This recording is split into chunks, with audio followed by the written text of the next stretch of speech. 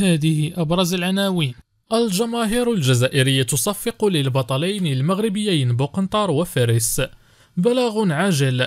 السلطات الجزائرية تسحب برونزية من المغرب في ألعاب البحر الأبيض المتوسط. فوز القجع يشيد بأشبال الأطلس في الألعاب المتوسطية ويعلق على مواجهة الجزائر. والآن إلى التفاصيل. ولكن من قبل باش تكون أول واحد كيتوصل بجديد الأخبار العالمية والمغربية المرجو وضع زر إعجاب واشتراك وتفعيل الجرس. الجماهير الجزائرية تصفق للبطلين المغربيين بوقنطار وفارس. نجحت الرياضة في توحيد الجارتين الشقيقتين الجزائر والمغرب حيث عاش الملعب الأولمبي ميلود هدفي بمدينة وهران بمناسبة اليوم الأخير من سباقات ألعاب القوى ضمن فعالية دورة ألعاب البحر الأبيض المتوسط يوم أمس الأحد. شهد لحظات رائعة جدا توثق التضامن الكبير بين الشعبين الجزائري والمغربي. فقد حمل المغربيان سفيان بقنطار ومحمد فارس علم المغرب بعد حلولهما في المركزين الأول والثاني لنهائي سباق 5000 متر قبل أن يرفعا العلم الجزائري. وهو الموقف الذي اهتزت له آلاف الجماهير الجزائرية الحاضرة التي نهضت من مكانها وراحت تصفق للثنائية المغربية خلال طوافهما في أرجاء الملعب. وتستضيف مدينة وهران الجزائرية حاليا منافسات النسخة التاسعة عشر من دورة ألعاب البحر الأبيض المتوسط. بلاغ عاجل السلطات الجزائرية تسحب برونزية من المغرب في ألعاب البحر الأبيض المتوسط. تقرر سحب الميدالية البرونزية التي حققها المغرب في نهائي 400 متر تتابع سيدات يوم أمس الأحد ضمن ألعاب البحر الأبيض المتوسط. وجاء ذلك بعد أن قرر الحكام أن أحد العداءات المغربية خرجت من الممر المخصص في بداية السباق وتم اعتبار المغرب مقصيا من السباق بالرغم من حلوله في المركز الثالث الذي عاد في الأخير لتركيا.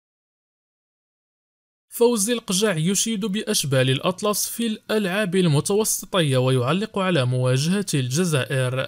أكد رئيس الجامعة الملكية المغربية لكرة القدم فوز القجع أن المنتخب الوطني لأقل من 18 سنة قدم أداء جيدا وكان في الموعد رغم الإقصاء في دور نصف نهائي بطولة ألعاب البحر الأبيض المتوسط أمام إيطاليا.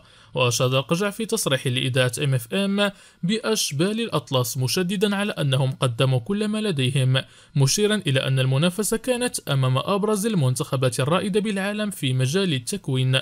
وقال رئيس الجامعة كنتحدث على أفضل المنتخبات من ناحية التكوين حول العالم ولكن باش كانت فرنسا حسن وباش كانت إسبانيا وإيطاليا وأشار القجع إلى أن المنتخب المغربي قارع كبار العالم في الألعاب المتوسطية باستثناء مواجهة المنتخب الجزائري التي كانت عبارة عن حصة تدريبية على حد تعبيره. يذكر أن المنتخب المغربي لأقل من 18 عاما سيلعب مباراة تحديد المركز الثالث أمام نظره التركية بعد خسارته أمام إيطاليا بهدفين مقابل واحد. في حين كان المنتخب المغربي قد تأهل للمربع الذهبي كثاني مجموعته بخسارته أمام فرنسا بهدف دون رد وانتصاره على الجزائر بثنائية دون رد ثم التعادل مع إسبانيا بهدف لمثله. عزيز البدراوي رئيس الرجاء الرياضية تلقى ضربة موجعة قبل الديربي ونجم الفريق قريب من الدورة البرتغالية حاولت إدارة الرجاء الرياضي خلال الساعات القليلة الماضية التواصل مع زكريا الوردي غير أنها فشلت في ذلك بسبب تواجد هذا الأخير في البرتغال من أجل إنهاء إجراءات تعاقده مع ناد جديد بعد نهاية عقده مع الرجاء يوم الثلاثين من شهر يونيو الماضي. ورجحت مصادر الصحفية أن يغيب الوردي عن مباراة الديربي أمام الوداد مؤكدة أن الفريق الأخضر بات في ورطة حقيقية بسبب نهاية عقود مجموعة من اللاعبين مع إجراء الفريق الأخضر آخر مباراة له في الدوري الاحترافي هذا الموسم.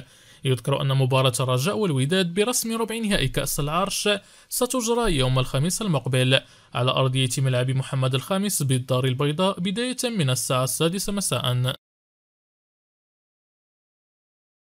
لقجع يؤكد أن مصير خليل الزيتش سيحسم خلال أسبوع ويبدي إعجابه بيرغراغي لمح رئيس الجامعة الملكية المغربية لكرة القدم فوز القجع إلى إمكانية فك الارتباط مع المدرب البوسني وحيد خليلوزيتش مؤكدا أنه على خلاف دائم معه وأن قرار رحيله سيتخذ خلال الأسبوع.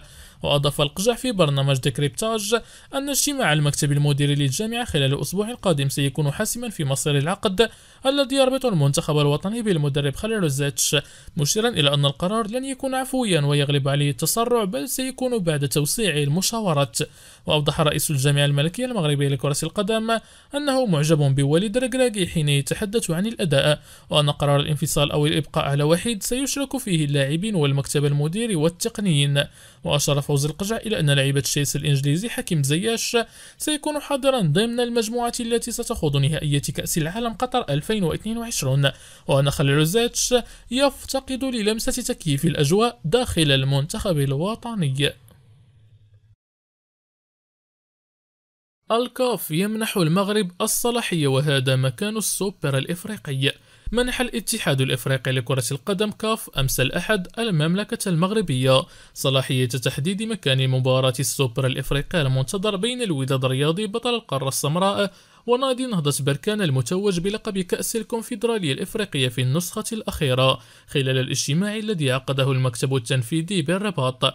وذكر موقع العربي الجديد أنه حصل على معطيات تؤكد منح الكاف المغرب صلاحية تحديد مكان مباراة السوبر.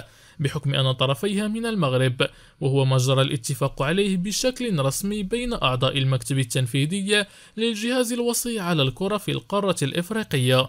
وبحسب المعلومات فإن رئيس الاتحاد المغربي لكرة القدم فوز القجاعة أخبر رئيس الاتحاد الإفريقي باتريس موتيسيبي بأن إقامة لقاء السوبر الإفريقي بالمغرب ستساهم في ضمان نجاح المنافسة من خلال حضور جماهيري كبير من منصري الوداد الرياضي ونهضة بركان.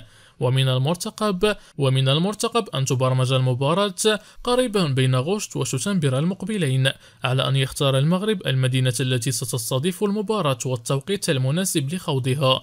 وإخبار لجنة المسابقات بالكاف للمصادقة على موعد اللقاء. جدير بالذكر أن فريق الوداد الرياضي توج بدوري أبطال إفريقيا بعد فوزه على الأهلي المصري بهدفين نظيفين فيما حقق نهضة بركان لقب الكونفدرالية الإفريقي على حساب أورلاندو بايرتس الجنوب إفريقي. بركلة الترجيح بعد نهاية المباراة بنتيجة هدف لكل فريق.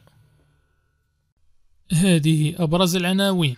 الجماهير الجزائرية تصفق للبطلين المغربيين بوقنطار وفارس. بلاغ عاجل. السلطات الجزائرية تسحب برونزية من المغرب في ألعاب البحر الأبيض المتوسط. فوز القجع يشيد بأشبال الأطلس في الألعاب المتوسطية ويعلق على مواجهة الجزائر.